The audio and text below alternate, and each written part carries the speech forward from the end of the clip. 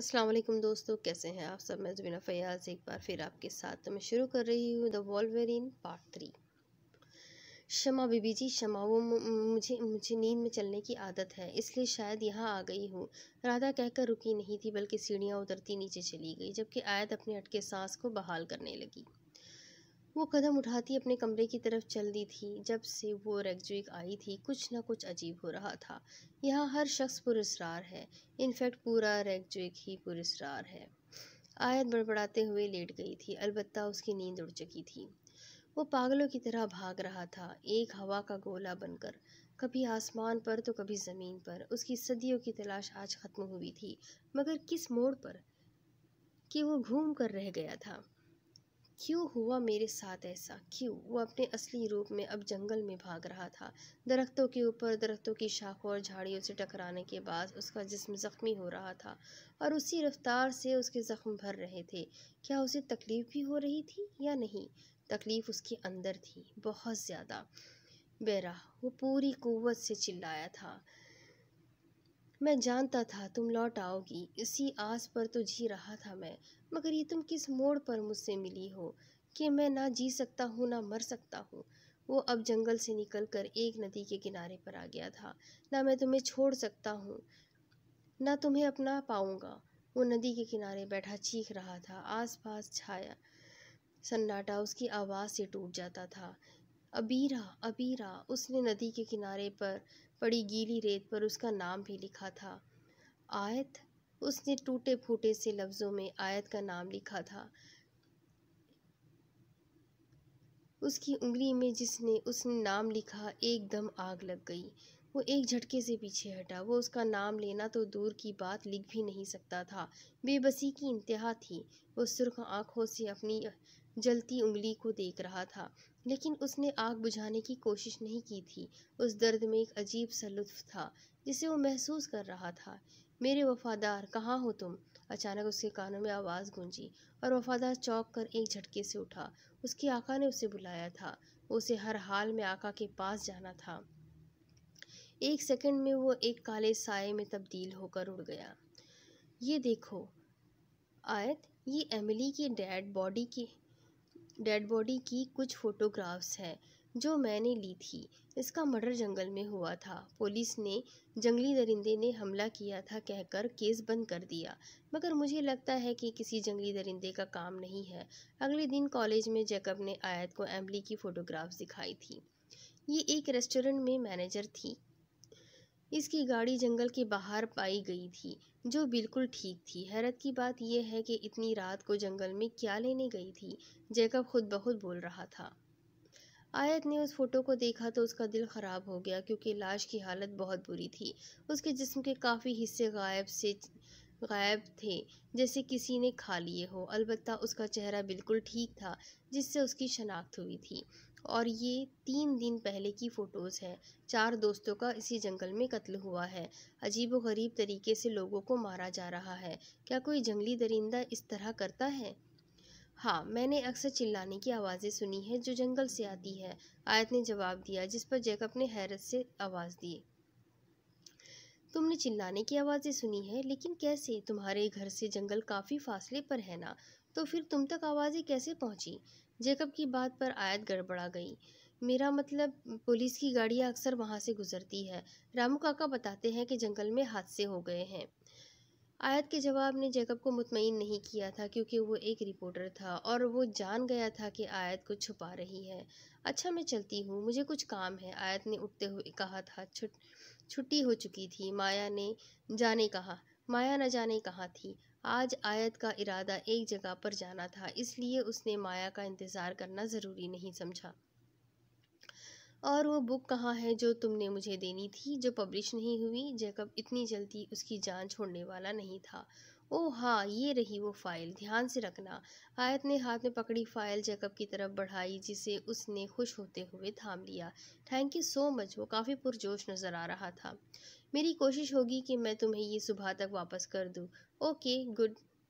Good noon, वो मुस्कुरा कर कहता आगे बढ़ गया, जबकि आयत ने गहरा सांस लेकर उसे जाते हुए देखा।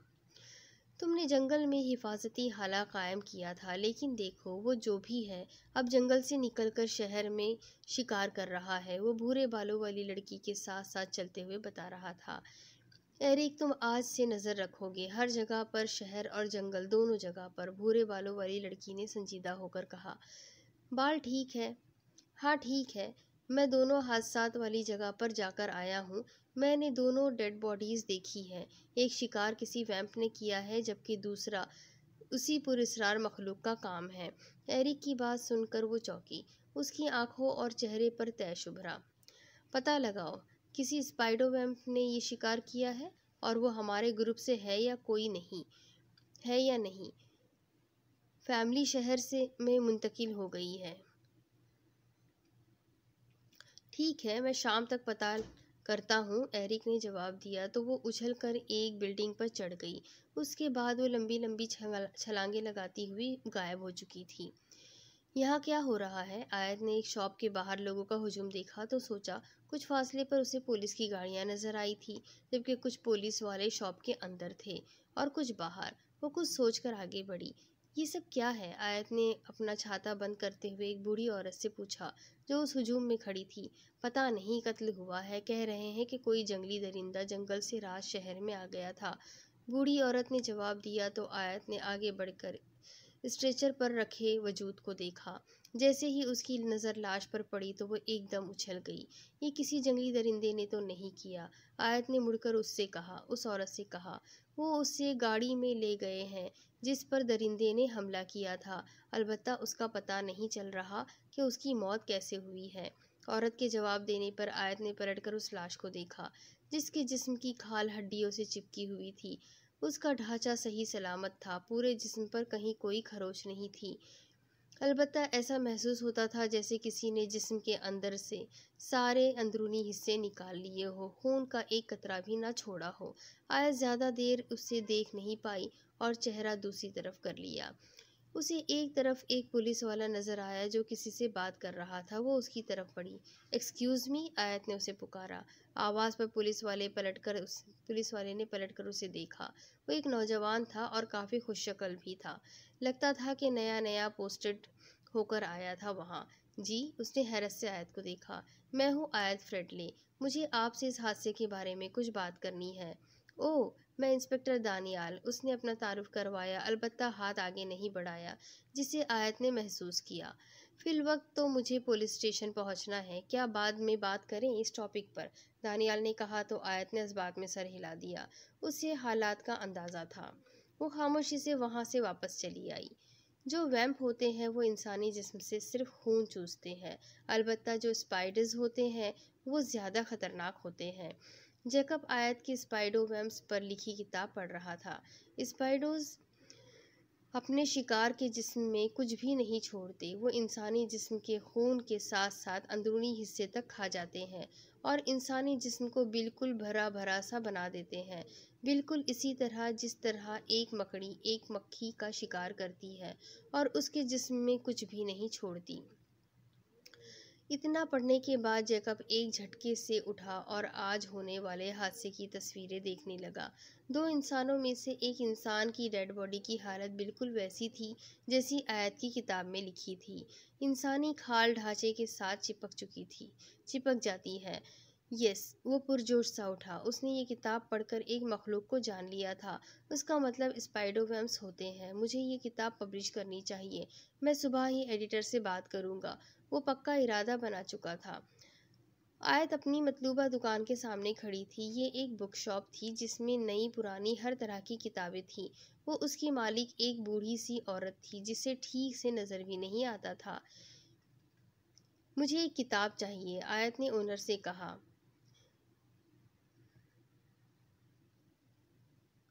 मेरा नहीं ख्याल कि इस मुसनफ़ की कोई किताब तुम्हें ले, यहाँ लेगी, तुम, तुम्हें यहाँ मिलेगी। बूढ़ी औरत ने काफ़ी किताबों को चेक करने के बाद कहा, वो यही है, इसी दुकान में मैंने महसूस किया है, आयत ने जवाब दिया, जिस पर औरत ने चौंक कर उसे देखा। तुम फिर नीचे तहखाने में देख लो, वहाँ फटी पुरानी किताबें पड़ी हैं। उसकी बात सुनकर आयत एक मशाल उठाकर तहखाने की तरफ़ बढ़ गई, जिसका पता मिसेस क्रिस्टी ने बताया था। काफ़ी देर बाद वो अपनी मतलूबा किताब लेकर तहखाने से बाहर निकली थी। किताब की कीमत अदा करने के बाद वो दुकान से बाहर निकलने लगी थी। मिसेस क्रिस्टी ने उसे रोका। तुम इस तरह की किताबों में दिलचस्पी क्यों रखती हो, जिन्हें कोई मानता और जानता भी नहीं है? मिसेस क्रिस्टी की बात सुनकर वो पलटी। हर इंसान की अपनी पसंद होती है, मिसेस क्रिस्टी। ना मानने से हकीकत थोड़ी ना बदल जाती है, आयत ने मुस्कुराकर जवाब दिया और दुकान से बाहर निकल आई।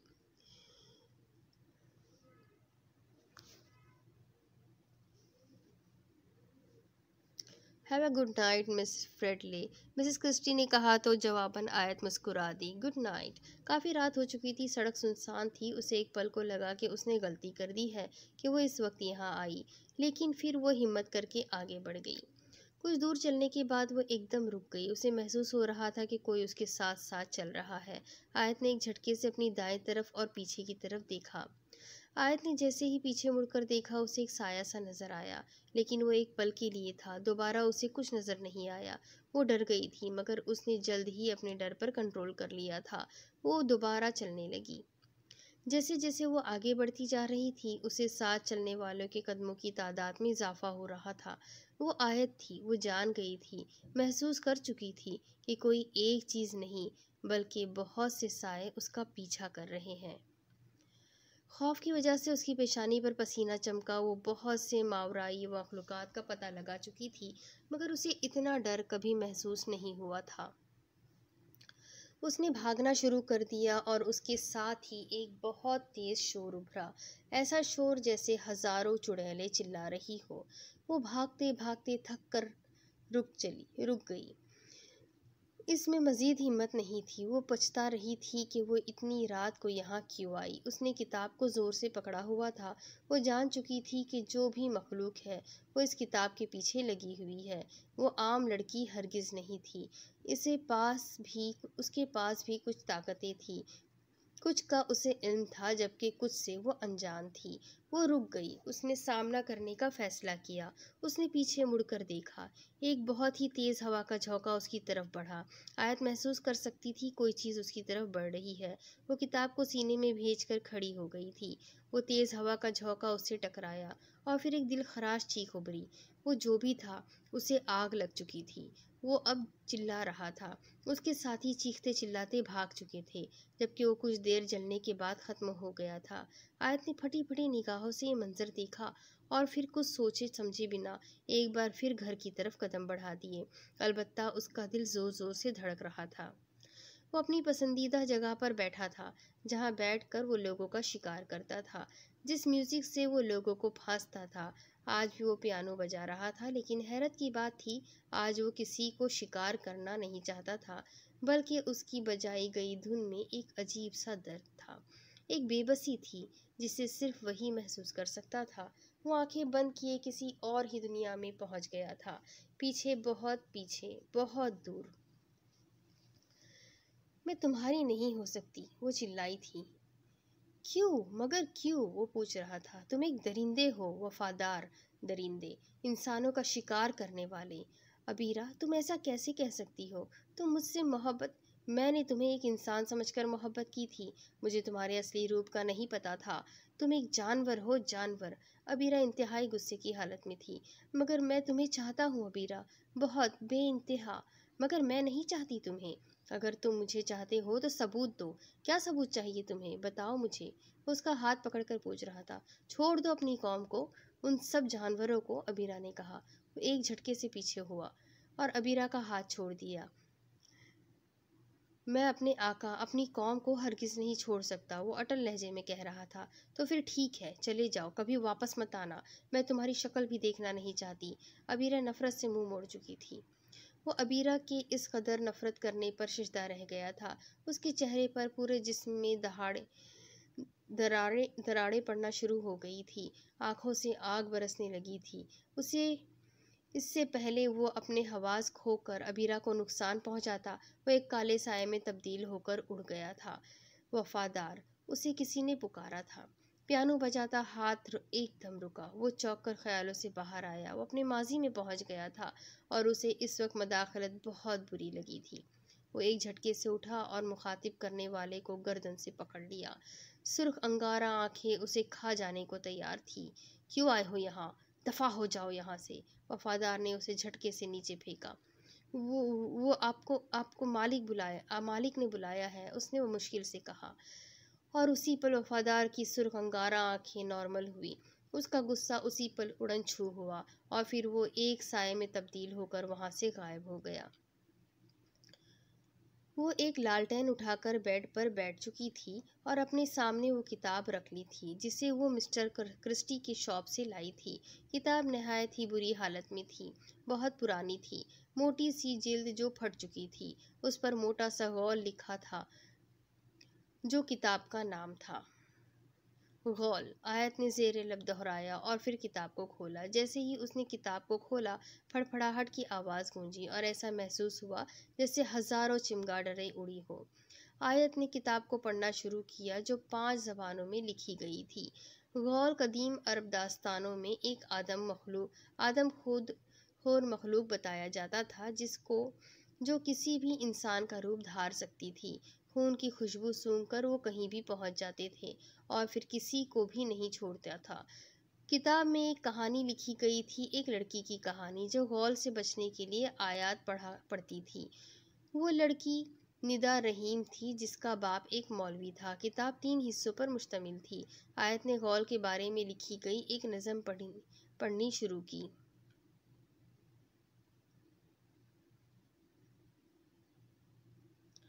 अपने खून से सौदा पक्का करो और बेधुआ आग से बाहर निकल जाओ, गौल आएगा। तुम उसकी मौजूदगी को जान ना पाओगे जब वो तुम्हारे ग्रोह पर चढ़ चढ़ चढ़ दौड़ेगा। चाहे सो रहे हो या जाग रहे हो, भाग ख्वाबों का आगाज़ हो जाएगा।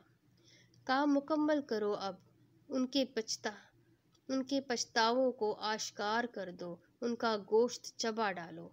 आयत ने किसी ट्रांस के जेर असर वो नज़म पढ़ी थी। ऐसा लगता था जैसे उस नज़म में गौल को बुलाया जा रहा हो।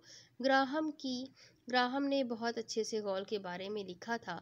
एक आयत को खुली छोड़कर बेड से नीचे, आयत किताब को खुली छोड़कर बेड से नीचे उतर आई और अब कमरे में टहल रही थी। जिस मखलूक का ज़िक्र किताब में था। एक तहकीक के मुताबिक वो अब ख़त्म हो चुकी थी और जिस गौल से भी ज़्यादा ख़तरनाक थी खतरनाक वॉल्वेरिन मखलूक को वो ढूंढ रही थी। वो भी इंतहाई ख़तरनाक, जो कभी भी, कहीं भी पहुँच सकती थी, बिना खून की खुशबू के, जो इंसान को किसी और तरीके से फांसती थी। निदा रहीम गौल से बचने के लिए आयात पढ़ती थी। आयात, आयत की जमा। आयत के जहन में एक झमाका हुआ। आज जो कुछ भी हुआ था, जो भी उसे छूने के बाद जलकर राख हो गया था, जिसकी वजह उसका नाम था आयत। जैकब वो फ़ाइल उठाकर अपने घर से बाहर निकल आया था। वो उसे न्यूज़पेपर्स के ऑफ़िस में लेकर जा रहा था।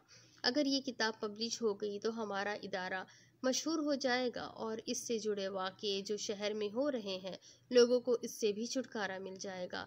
वो सोच रहा था और तेज़ तेज़ कदम उठा रहा था। अभी वो कुछ दूर तक पहुँचा था कि एकदम कोई चीज़ उड़ती हुई आई और जैकब पर हमला किया। वो इस हमले के लिए तैयार नहीं था लड़खड़ा कर नीचे गिर गया। अभी वो संभल भी नहीं पाया था, वो चीज़ उस पर झपटी। वो जैकब को बुरी तरह जख्मी कर चुकी थी। वो इंसान नुमा जानवर था, जैकब उसे पहचान गया था। स्पाइडो वेम्स पर लिखी आयत की किताब पढ़ने के बाद वो इस मखलूक का अपने जहन में एक स्केच बना चुका था और जिसने अभी उस पर हमला किया था, वो एक वैम्प था। अपने बड़े बड़े दांतों को बाहर निकाले हुए जैकब की गर्दन पर झुका। जैकब की खौफ के बाद गिग्गी बन गई थी। किताब पहले ही दूर जा गिरी थी। जैसे ही वैम्प ने उसकी गर्दन पर अपने नुकीले दांत रखे, पूरा रेगजिक जैकब की चीखों से लरस गया। वो किताब को अलमारी में रखने के बाद उसे लॉक लगा चुकी थी, जैसे ही उसने अलमारी के पट बंद किए, एक दिल खराश चीख उसे कानों से टकराई और आयत काँप उठी। कमरे में जलती मशाल एक बार फिर बुझ गई थी। लगता है फिर कोई हादसा हुआ है, आयत ने धड़कते दिल के साथ कहा। जब भी कोई हादसा होता, मरने वाले की चीख आयत को सुनाई देती थी। उसके कमरे की मशाल का बुझना इस बात का गवाह था कि ये काम किसी मावराई मखलूक का है। वो जल्दी से खिड़की के पास आई और जंगल को देखा, जो पुरसकून सा नज़र आ रहा था। इसका मतलब हादसा जंगल में नहीं हुआ है, आयत बड़बड़ाई। इसके बाद वो कमरे से बाहर नहीं, निकल आई थी। उसका रुख माया के कमरे की तरफ़ था। वो इससे डिस्कस करना चाहती थी सब कुछ, लेकिन जैसे ही उसने माया के कमरे का दरवाज़ा खोला, उसे हैरानी हुई। माया अपने कमरे में नहीं थी। रात के एक बजे कहाँ जा सकती है? अजीब पुरस्कार सी लड़की है। अक्सर गायब ही रहती है। वो दरवाज़ा बंद करके नीचे की तरफ़ कदम बढ़ा चुकी थी। वो किसी आंधी तूफ़ान की रफ्तार से आई थी और उसे गर्दन से पकड़कर दूर फेंका। उसे पकड़ लो। इसे पकड़ लो। एरिक ये भागने ना पाए। भूरे बालों वाली लड़की ने एरिक से कहा, सड़क पर पड़ा जैकब तड़प रहा था, वो उसकी तरफ़ पड़ी। जैकब ने सांस, जैकब की साँसें उखड़ रही थी। अब हम क्या करें, एरिक? उसने पूछा। जबकि एरिक उस स्वयं से गुत्तम गुत्ता हुआ पड़ा था। एरिक की ताकत ज़्यादा थी और वो उसे दबोच चुका था। वो जो भी करना है, जल्दी करो। हमारे पास वक्त बहुत कम है। जैकब मर सकता है, एरिक ने जवाब दिया। एरिक की बात सुनकर वो उस पर झुकी। जैकब ने मुश्किल से आँखें खोलकर उसे देखा। उसकी गर्दन से निकलता खून वहाँ मौजूद। तीनों स्पाइडोमिस को बेखुद कर रहा था। माया, तुम? वो हल्का सा बड़बड़ाया और फिर तकलीफ़ की शिद्दत से आँखें बंद कर गया। माया देख क्या रही हो? वो मर जाएगा। एरिक ने माया को यूँ खामोश बैठे देखा तो कहा अगर मैंने इसे बचाया तो एक स्पाइड स्पाइड बन जाएगा। माया ने अफस, मा, माया ने अफसोस से जवाब दिया कुछ नहीं होता। मैं उसे वैम्प नहीं बनाना चाहता। स्पाइड स्पाइड ही ठीक है। तुम उसे बचाओ। इससे पहले कि वो मर जाए एरिक चिल्लाया। हाँ ठीक है। माया एकदम खड़ी हुई, जैकब उनका बहुत अच्छा दोस्त था। वो उसे इस तरह मरने नहीं देना चाहती थी। माया ने दोनों हाथ ऊपर किए और फिर से हवा में उड़ी, चेहरा आसमान की तरफ़ किया।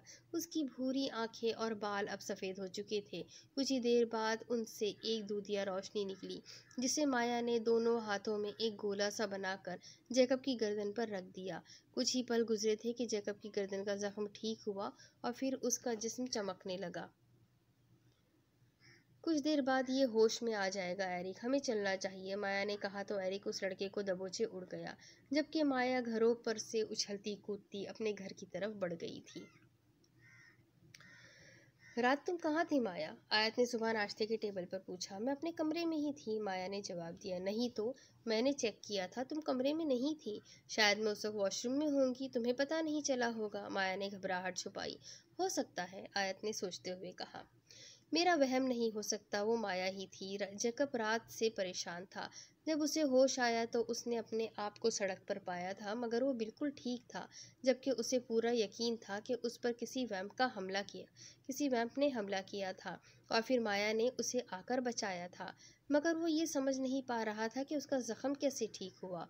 उसी उलझन में वो सारी रात सो नहीं पाया था, और अब वो खुद में एक अजीब सी ताकत महसूस कर रहा था।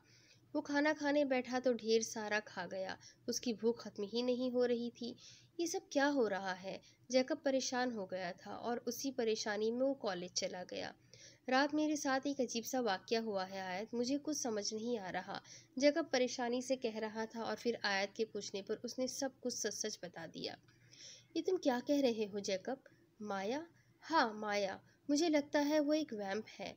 और फिर आयत को याद आ गया कि वो रात कमरे में नहीं थी। तुम्हारे कहने का मतलब है कि रेगजुइक में जो स्पाइडोमैन वेम्स पाए जाते हैं हाँ जैकब ने एक लफ्जी जवाब दिया। आयत अभी कुछ कहने वाली थी कि एक तरफ़ से शोर उभरा। वो दोनों जल्दी से उस तरफ़ बढ़े। सामने देखा तो माया एक लड़के से उलझी हुई थी। तुम्हारी हिम्मत कैसे हुई मेरे ग्रुप को गलत कहने की? ये डैनियल था।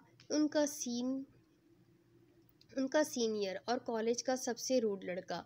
तुम और तुम्हारा ग्रुप दोनों जानवरों में शामिल हो। इंतहाई वहशी जानवर। माया पर न जाने किस चीज़ का भूत सवार था। वो गुस्से से लाल पीली हुई पड़ी थी।